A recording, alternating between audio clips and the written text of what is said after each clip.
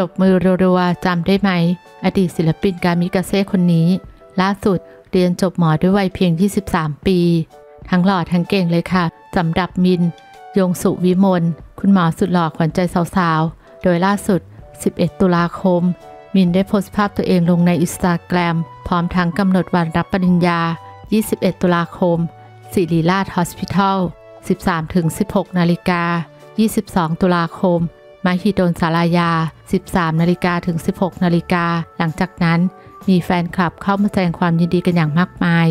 ทีมงานก็ขอแสดงความยินดีกับคุณหมอป้ายแดงด้วยนะคะสำหรับมินได้สอบเทียบบุตรม .6 เพื่อสอบเข้าคณะแพทย์ โดยสอบติดขณะมีอายุเพียง 16 ปี ปัจจุบัน ศึกษาอยู่ชั้นปีที่ 6 คณะแพทยศาสตร์ศิริราชพยาบาล